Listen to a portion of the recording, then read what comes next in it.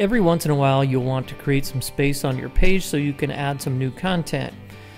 Up till now, this has required you to individually reposition each element on your page, and that can be somewhat of a hassle. But now you can select an element and use what we call the smart handles. The first is the top smart handle, and what this does is it allows you to create space by pushing everything below the element that you selected down the page while keeping it relatively positioned. The next one is the resize smart handle, and this allows you to resize an element while keeping the objects or elements below in relative position. This is perfect if you would like to increase, let's say, the size of a text box so that you can add more text to a page without having to reorganize everything on your page.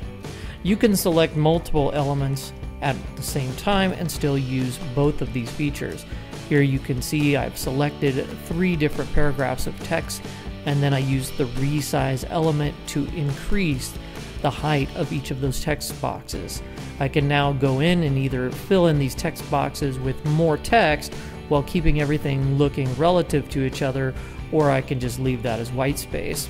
I hope you enjoyed this video and thanks for watching.